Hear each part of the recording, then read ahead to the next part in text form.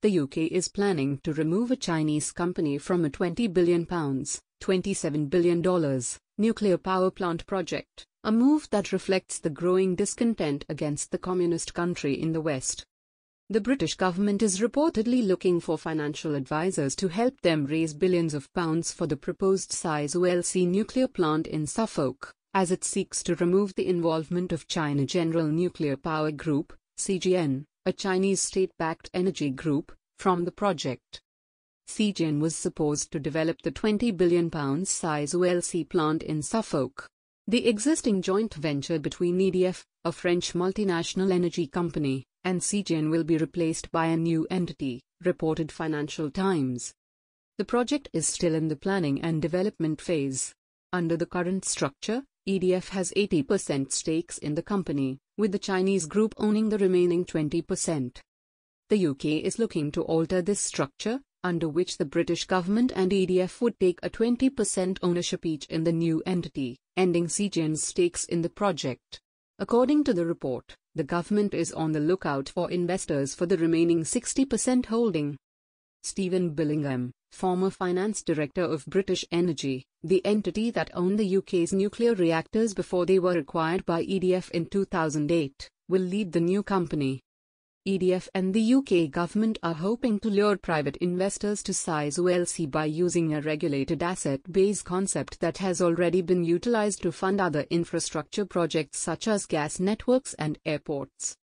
The concept guarantees private investors a consistent rate of return from the start although it is controversial since customers contribute to the project's finance through a surcharge on their energy bills long before it is completed. China's role in UK's civil nuclear program. The existing nuclear facilities in the UK are owned by EDF along with Centrica, a British energy company. The company had to shut down many plants ahead of schedule. As a result, there has been an increasing push to build more nuclear power plants in recent years. The remaining six active power stations account for roughly 16% of the UK's total generating capacity. However, when Hinkley Point B in Somerset closes in July, this will reduce much more, with four of the remaining five facilities expected to close by March 2028. CGN is anticipated to remain a stakeholder in Hinkley Point C, a 3.2 gigawatt nuclear power station being built by EDF in Somerset, southwest England. It is the first and only nuclear reactor under development as part of a proposed new generation of nuclear reactors. The Chinese firm is funding a third of the plant's costs. However, the project is nine years behind schedule. CGN's expertise of the European Pressurized Reactor EPR, technology, a Franco-German design employed at Hinkley Point C, is also deemed vital for the project. CGN was the first to manufacture operational EPRs at a plant in Taishan, China. With the war in Ukraine contributing to already high gas costs, the need to move forward with Sizewell C, which will also utilize EPR technology, has gained new momentum. Anti-China sentiments in the West. Sizewell, which would eventually power 6 million homes, has faced criticism from local protesters due to concerns over its cost and China's involvement. In 2020, the government announced a ban on Huawei, a Chinese telecoms equipment manufacturer, from participating in its 5G mobile phone network, citing national security concerns. Since then, CGN's role in the UK's civil nuclear program has come under scrutiny.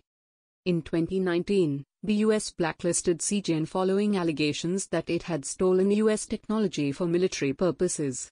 Sizewell C project would require U.S. investors, according to Simone Rossi, head of EDF's UK arm, which would be difficult to find if CGN remain involved. In 2020, former U.S. Secretary of State Mike Pompeo urged Britain to pick sides in the nuclear technology competition, saying the U.S. stands ready to assist our friends in the UK with any needs they have. Demand for China's exclusion from nuclear power projects has further increased during Joe Biden's administration, with officials from the U.S. construction firm Bechtel joining hands with Westinghouse, a U.S. nuclear reactor firm. The Guardian previously reported that Britain was in negotiations with Westinghouse about developing a new nuclear power station on Anglesey, Wales, as the government strives to lessen its reliance on fossil fuels and exposure to volatile gas prices. The latest decision will certainly increase tensions between London and Beijing. Earlier, China had expressed displeasure after the UK's decision to join the AUKUS nuclear submarine pact with the United States and Australia.